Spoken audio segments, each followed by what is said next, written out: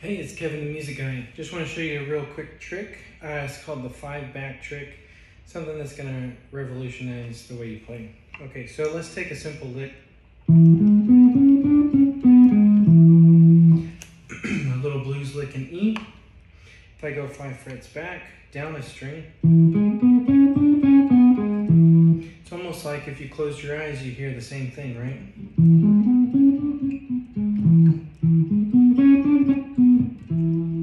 Five more frets back. Pretty cool. So try that at home, see if you can figure that out.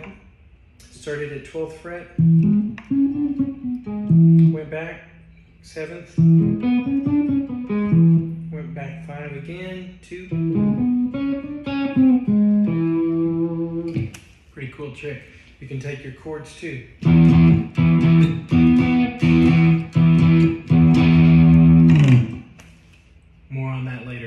See you guys.